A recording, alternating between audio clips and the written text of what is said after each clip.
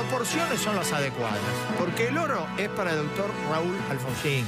Esta es. semana se cumplieron 35 años del, Del- del 30 de octubre, la del, elección. del, del triunfo electoral del doctor Alfonsín, del triunfo que sorprendió al peronismo que decía faltan los votos de Avellaneda. No, llegaban los votos de Avellaneda y seguía ganando Alfonsín. Claro. Bueno, a ver, la comparte con Macri en una escala menor el presidente porque, a ver, en un país donde no se reconoce nada, Se acordó. que se reconozca eh, la victoria de quien fue o quien encarnó el retorno a, la democracia en la Argentina, me parece que es un gesto noble, ¿no? ¿Lo habrá votado en el 80? ¿Qué, qué habrá votado? Mauricio. Aquel 30 de octubre, exacto. Uh, aluda.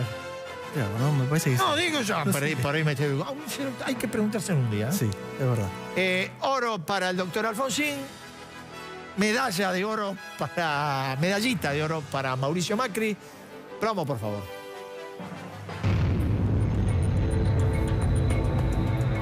Y este plomo va a Comodoro Pi. Este es el juez federal Luis Rodríguez. Sí, que tuvo ¿Qué una- pasó con este hombre? Mala noticia, lo desplazó la Cámara Federal, lo desplazó Sí, de la investigación. Con un argumento Sí. feo. ¿Cuál fue? A ver, decímelo. Y el argumento es que favoreció a los acusados, a la persona que estaba investigando.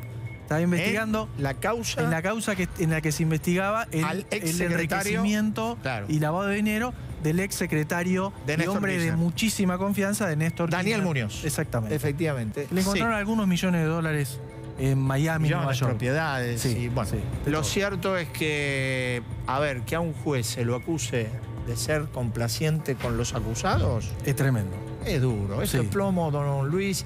El mismo juez, ¿te acordás? Es el mismo juez del primer allanamiento debido.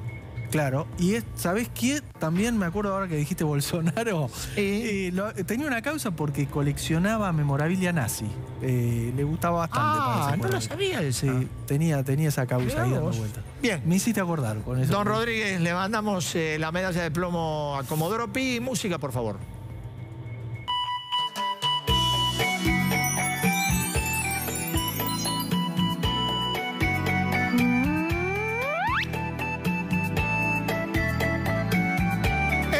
Gobernador de Santa Fe, mi amigo.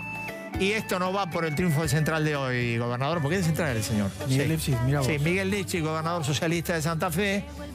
Eh, a ver, ¿sabes lo que dijo el otro día? Yo te lo comenté. Sí, me lo comentaste. Sí, dijo- Te llamó mucho la atención esa frase. Sí, dijo, si la Argentina fuera como Santa Fe, sería un gran país. 134 homicidios solo en Rosario en lo que va del año. Claro. Se había olvidado, Miguel. Me parece que se le cayó la ficha.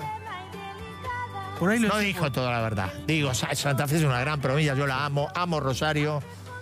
Ahora, que me diga que siendo Santa Fe la Argentina va a ser un gran país, me parece que no está diciendo toda la verdad.